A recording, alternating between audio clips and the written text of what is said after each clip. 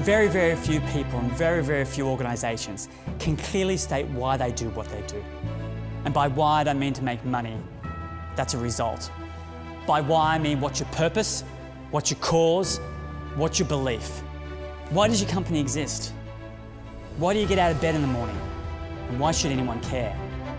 Share your inspiration with your team and discover real effective ways for everyone in your company to become brand ambassadors.